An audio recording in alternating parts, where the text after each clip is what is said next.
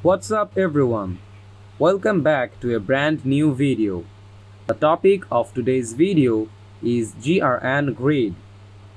GRN and its grid are the future product of crypto, delivering a sustainable blockchain platform based on renewable energy resources and supporting clean energy compasses. The GRN Smart Chain minimizes global carbon emissions and adds sustainability to the blockchain industry, improving environmental conservation.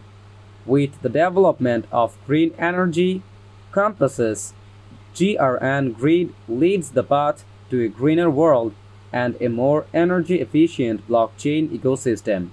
Nearly 45% of the consumers are interested in sustainable and ecologically friendly goods, and GRN Grid lays the groundwork for a greener future, focusing on consumers and a decentralized ecosystem.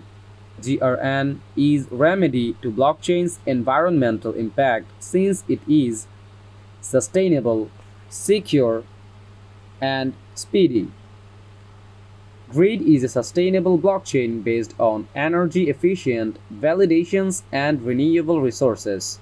GRN Grid is always on the lookout for threat actors and uses two-step validation methods in conjunction with the POS2 technology to constantly detect and charge them. Grid's exceptional LTV is a cornerstone in assuring fast performance that allows for near-instant transactions, simultaneous with a stable network. GRN and its grid smart chain are potential game changer for the blockchains and shipping, banking, healthcare, and more industries worldwide. With its attempts to decrease carbon footprint and e-waste, GRN eliminates intermediaries for a genuinely decentralized and sustainable blockchain that cares about the world. GRN is a value investment attracting Web 3.0 developers, investors, and individuals who want to make a difference by enabling a cleaner earth initiative and developing green energy compasses. They are now on different social media.